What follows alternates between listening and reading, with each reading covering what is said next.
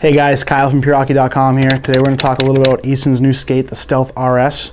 Uh, for this year's skate, Easton made the quarter panel out of a fused composite. What this is going to do is give it the best combination of heat moldability inside the skate and stiffness and responsiveness on the outside. Um, this skate, the thing I really liked about it when I wore it is it allows a lot of forward flex, so you can get a full stride in, and it has a lot of lateral stiffness to it, so you get a lot of responsiveness. That's yeah, one of the big things with the big push with the RS skate.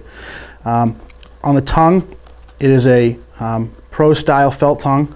Made of, you know, the uh, foam in the front, and you can see a little extra padding here in case you take a puck off the laces. And uh, you know, it's going to be nice and comfortable for no, no lace bite. The tendon guard back here, it's uh, an injected overlay tendon guard, and it's nice, very strong. It's going to keep your skate, um, it's going to pop your foot back up on every stride. So it's going to have a lot of stiffness, a lot of response to it. Uh, in the front of the tendon guard, on the inside of the skate, they added a lot of padding just for a little bit more comfort. Um, up on the top of the skate here, uh, as you can see, they added a what they're calling the Comfort Edge, uh, very similar to what you saw in the Total One skate and the Total One NXG by Bauer. Just a little bit to uh, stop from abrasion on tight turns and quick stops. Uh, the outsole is Easton's Texalium composite material. It's got the dry flow in it, and it's going to be a little bit of drainage for uh, moisture, sweat, all that stuff, and a little bit of airflow to keep your feet a little cooler during the games.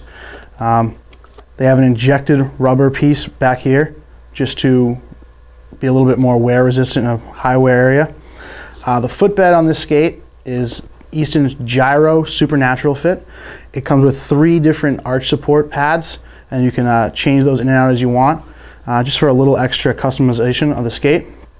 Um, down the holder you can see it's uh, Easton's Razor Blades 2 with an Elite Runner. Um, it's going to be one of the lightest and stiffest holders in the market, and it's really uh, be a high performance holder. Um, so again, guys, this was Easton's new Stealth RS skate, available now at PureHockey.com and all Pure Hockey locations. Thanks a lot.